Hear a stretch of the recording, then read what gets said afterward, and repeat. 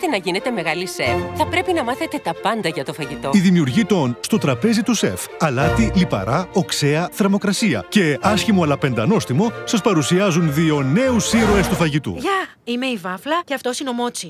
Γεια σας λοιπόν, Βάφλα και Μότσι. Είστε έτοιμοι για μια τρομερή περιπέτεια; Το όνειρό μας είναι να γίνουμε σεφ. Να δούμε το λεμόνι.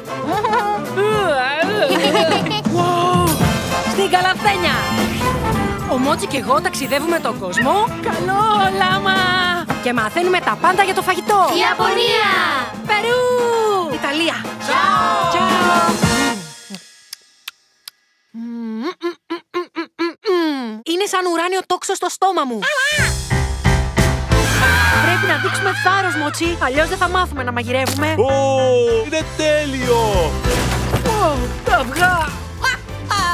Αυτό είναι πιο κλειστερό από τους γυμνοσάλια και σε σάουνα. Είναι σαν μια έκρηξη πολύχρωμων γεύσεων. Είναι καυτερό. Ναι, είναι. Τι παράξενα πράγματα. Έχουμε δει και πιο παράξενα πράγματα από αυτά. Ω, πιο παράξενα. Ναι. Από τα μανιτάρια.